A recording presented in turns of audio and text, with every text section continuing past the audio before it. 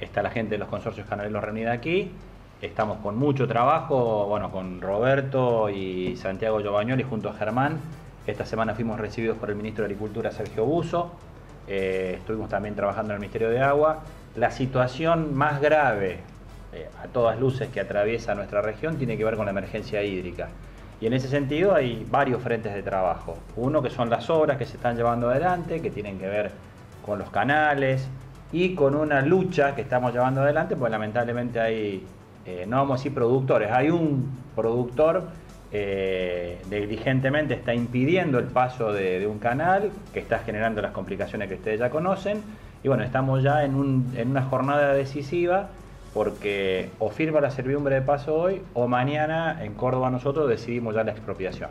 Y por otro lado, todos los productores, todos los establecimientos que lamentablemente o porque tienen directamente la superficie productiva negada o porque tienen los caminos totalmente anegados y no pueden sembrar o no pueden retirar la producción, eh, la idea es que sean incluidos dentro del decreto de emergencia y o desastre, pero que también se trabaje para que lo que se decida sea instrumentado rápidamente.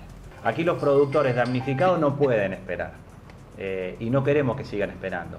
Por eso creo que fue muy importante el aporte que hizo Santiago, eh, Giovanni y Roberto en esa mesa de trabajo, donde el ministro Buso vio con mucho interés y con mucho agrado cuál sería el formato de trabajo y cómo habría que resolver eh, que lo que se decide en los papeles a la gente le llegue rápidamente en los hechos. Es decir, si se va a tomar una decisión de una emergencia que signifique una rebaja impositiva o una exención impositiva en caso que se declare un desastre, que la gente no vea ese beneficio el año que viene porque lejos de ser un beneficio va a ser un perjuicio. la, idea es, la idea es que sea operativa.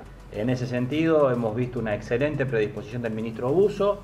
Eh, le estamos anunciando en primicia a ustedes, el jueves 28 de enero el ministro Buso y todo el equipo va a estar en la zona, van a estar sobrevolándola y luego vamos a hacer una reunión de trabajo en Alejo Ledesma.